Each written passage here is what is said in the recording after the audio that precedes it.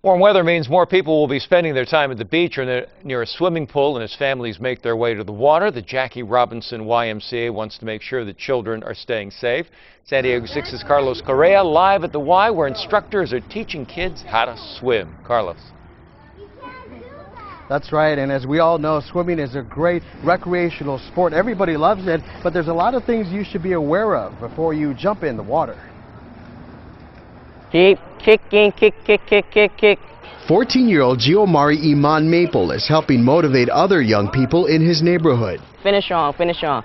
Good job. As a future Navy officer, Giomari Iman joined the Jackie Robinson Family YMCA to learn more about his love for swimming. Anything you achieve or want to go to, any goals that you want to achieve, it's always easy as long as you put your mind to it. He's been part of the WISE Community Aquatic Safety Awareness Team for the last four years. It keeps me in the water, it keeps me on my toes. Through the program, teens not only learn how to swim, but are exposed to lessons in empowerment, character development, and community building. We want to make sure that they are getting a well-rounded experience here at the Y. directly on top of firsthand. In southeast San Diego, drowning statistics are staggering. More than 55% of Hispanic children and 60% of African American children do not know how to swim. Drowning is the leading cause of unintentional death for children under the age of five, and that's a startling statistic. The team is working with Rural/Metro Ambulance to provide students lessons on CPR and first aid.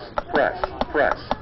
And the hope, leaders say, is for children to develop the skills needed to handle any emergency that's near a large body of water. Because the Y is a cause-driven organization, that means that we are for youth development, healthy living, and social responsibility. And I think that this program really addresses all three of our areas of focus.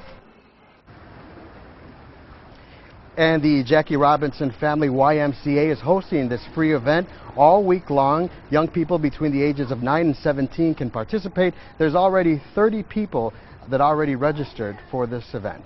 I'm Carlos Correa, San Diego 6 News. Great work, and you're looking very comfortable there, Carlos.